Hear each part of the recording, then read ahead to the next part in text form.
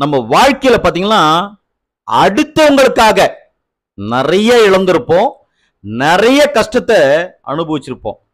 அடுத்தவங்களுக்காக நம்ம செய்த உதவிகள் எல்லாம் அந்த நன்றி கெட்ட நாய்ங்க அதாவது மனித ரூபத்தில் இருக்கக்கூடிய அந்த மிருகங்கள் மறந்துடும் போது நமக்கு அந்த வலி வந்து ரொம்ப அதிகமாக இருக்கும். அதை நினச்சி நினச்சி நினச்சி நம்ம வந்து வேதனைப்படுவோம். அப்படி அந்த வேதனையை நம்ம யார்கிட்டனா ஷேர் பண்ணிக்கலாம் அப்படின்னு சொல்லிட்டு நினச்சி நம்ம கூட இருக்கவங்க கிட்ட சொல்லும் போது அவங்க என்ன சொல்லுவாங்க? அதெல்லாம் வந்து நம்ம நினச்சி வருத்தப்படக்கூடாதுங்க. அப்படியே வந்து அதை கடந்து போயிடணும். அப்படித்தான் அவங்கெல்லாம் இருப்பாங்க. அப்படின்னு சொல்லிட்டு அட்வைஸ் பண்ண ஆரம்பிச்சிருவாங்க. நான் வந்து ஒரு வரிகள் படித்தேன் அந்த வரிகள் தான் எனக்கு வந்து ஞாபகத்துக்கு வருது. இழந்ததை எண்ணி வருந்தாதே. என்று சொல்வது வந்து ரொம்ப சுலபம். இழந்து துடிப்பவர்களுக்கு தான் தெரியும். அது எவ்வளவு பெரிய வலியும் வேதனையும் அப்படின்றது கஷ்டத்தை அனுபவிச்சாங்க பாரு. அதுவும் நம்ம வாழ்றதுக்காக கஷ்டப்படுறோம். நம்ம வாழ்றதுக்காக நிறைய இழக்கிறோம். நம்ம வாழ்றதுக்காக போராடுறோம். அதெல்லாம் வந்து பெரிய விஷயமே கிடையாது.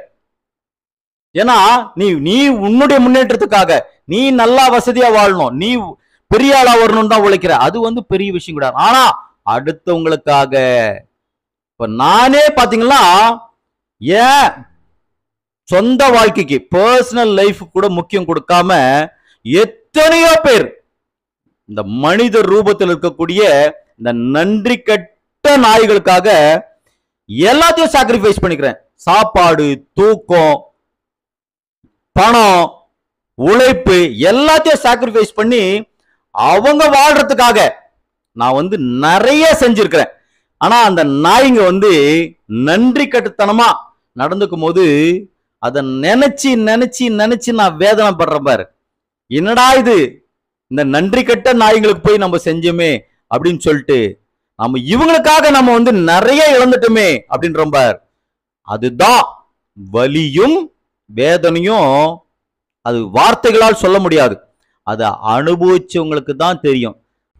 அதனால இந்த அட்வைஸ் பண்றவங்கலாம் அவங்களுடைய ஃபீலிங்ஸை உணர்வுகளை புரிஞ்சுக்கிட்டு பேசுங்க.